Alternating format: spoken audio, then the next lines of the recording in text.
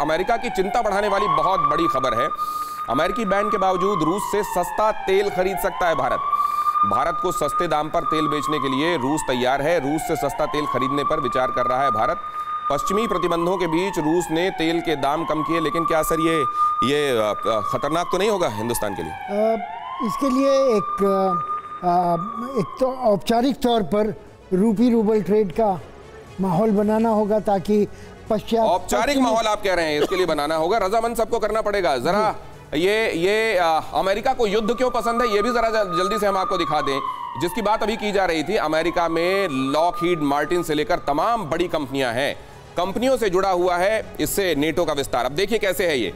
किस तरीके से ये होता है? लॉकहीड मार्टिन रेथियान जैसी कंपनियाँ जो बनाती हैं दबाव नेटो के विस्तार से हथियार कंपनियों का विशाल काय बाज़ार पैदा होता है। दुनिया भर में अरबों डॉलर के हथियार बाज़ार पर यूनाइटेड स्टेट्स की दिग्गज कंपनियों का दबदबा है। नेटो सदस्य बनने पर सैन्य संगठनों के नियमों को मानना ज़रूरी है। नेटो देश को खरीदने पड़ते हैं अरबों डॉलर के हथियार। अमेरिका में राष्ट्रपति चुनाव में अरबों डॉलर का चंदा देती हैं ये कंपनियाँ। लिहाजा जब कोई जीत जाता है, उसके ऊपर दबाव बनता है कि कीजिए अब हमारा एजेंडा आप आगे बढ़ाइए। और इसी वजह से मनोवैज्ञानिक दबाव होता है। ये है पूरे गड़बड़ झाले के पीछे की असल कहानी। परवाह देश की। सोमवार से शुक्रवार रात 10 बजे टीवी 9 भारतवर्ष पर।